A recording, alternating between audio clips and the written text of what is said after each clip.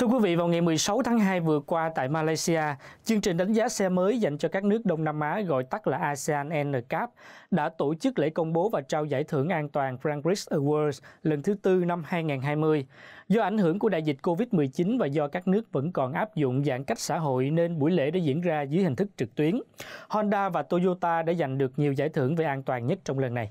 Có hai giải thưởng chính được trao là giải xuất sắc nhất và giải hiệu suất an toàn tốt nhất. Ở giải thưởng xuất sắc có 12 giải đã được trao cho các đơn vị cá nhân hoặc mẫu xe có đóng góp vào cải thiện an toàn tại thị trường ASEAN.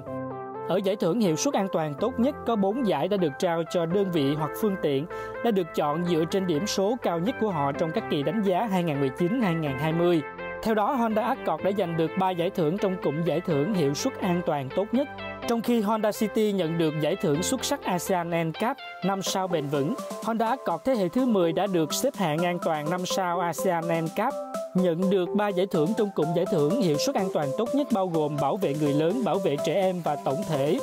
Trong khi đó, Honda City thế hệ thứ 5 mẫu xe Honda mới nhất đã xếp hạng an toàn 5 sao, đã giành được giải thưởng xuất sắc ASEAN NCAP 5 sao bền vững cho thấy sự xuất sắc của dòng xe City khi liên tục được xếp hạng an toàn 5 sao ở thế hệ thứ 3, thứ 4 và thứ 5. Toyota cũng nhận được giải thưởng xuất sắc dành cho những nỗ lực không ngừng cải thiện độ an toàn của Corolla Altis, Hilux và Innova,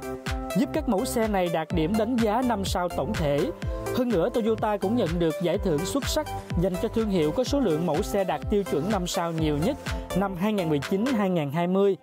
trong 2 năm qua, Toyota đã nhận được đánh giá 5 sao tổng thể cho 7 mẫu xe, một con số lớn hơn bất kỳ thương hiệu ô tô nào khác. ASEAN NCAP Grand Prix Awards là sự kiện diễn ra 2 năm một lần với mục tiêu tôn vinh những mẫu xe hoặc các đơn vị đạt thành tích cao trong lĩnh vực an toàn trong khu vực ASEAN. Giải Grand Prix lần đầu tiên được tổ chức tại Kuching, Sarawak vào năm 2014, lần thứ hai được tổ chức tại Kuala Lumpur, Malaysia vào năm 2016 và lần thứ ba là tại Karawang, Indonesia vào năm 2018.